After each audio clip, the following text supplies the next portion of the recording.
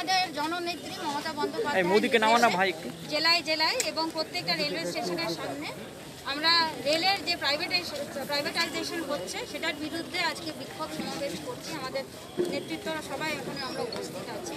এবং যেভাবে আজকে দেশকে বিজেপি সরকার এক এক করে বিভিন্ন জিনিস এবং আমাদের রেলওয়ে হচ্ছে আমাদের ভারতবর্ষের লাইফ লাইন আমাদের দেশের ব্যাকবোন আজকে যেভাবে রেলওয়েজকে বিক্রি করে দেওয়া হচ্ছে রেলওয়ের যে প্রাইভেটাইজেশন হচ্ছে, আপনারা জানেন যে রেলের যদি প্রাইভেটাইজেশন হয়ে যায়, কোটি কোটি মানুষের ক্ষতি হয়ে যাবে। যারা খুব সহজে আজকে রেল ব্যবহার করতে পারছেন রেলের সার্ভিসেস ব্যবহার করতে পারছেন, আগামী দিনে রেলের প্রচুর বেড়ে যাবে। মানুষ, সাধারণ মানুষ যারা প্রত্যেক দিন রেলে যাতায়াত করে, সেটা হয়তো তারা করতে পারবেন না।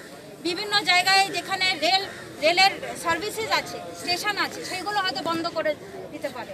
আরও অনেক রকমের সমস্যা আমরা দেখতে পাচ্ছি। অনেকে আমরা, যারা গরিব মানুষ, তারা এয়ারপোর্ট বা তারা ফ্লাইটস নিতে পারেন না। তারা পুরোপুরি রেলের উপরে নির্ভর। আগামী দিনে সেখান থেকে তারা বঞ্চিত হয়ে যাবে।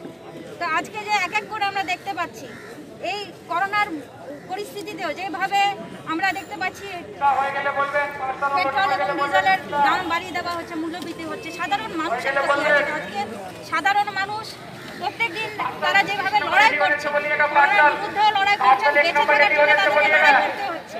এই পরিস্থিতিতে বিজেপি সরকার মানুষের কাছে না দাঁড়িয়ে এক এক করে খুব গুরুত্বপূর্ণ সার্ভিসেস থেকে তাদেরকে বঞ্চিত করার চেষ্টা করছে।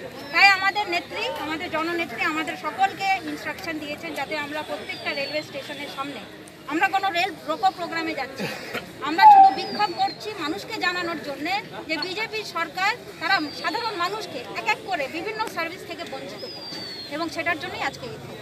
মোদি এবং ইয়ে আমাদের